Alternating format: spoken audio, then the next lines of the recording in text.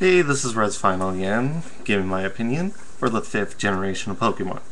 I think it's about time. It's been four years since Diamond and Pearl, and last year Platinum came on. That was pretty cool. It'll be nice to see their ideas for this one. Hopefully, it's better than the fourth generation because I was a little disappointed with half of it, not all of it. There's one guy I really like. Turtwig. Well, anyways, I am getting a little pumped about new gold and silver. Silver all the way. Yeah. but anyways, people were like, oh, the picture's fake, the picture's fake. Nope. Consider it. It's real. There's a picture of the fox, dark fox thing. That is real. Anyways, tell me what you think of this new generation. Suck? And what do you think they should add for the future? Just put your little comment here and write this if you want. And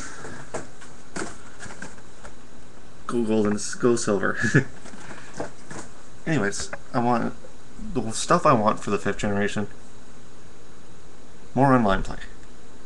You know, like random battle, kind of like when you go to do fighters and stuff like that, or hmm, customizable trainers where you can make them look.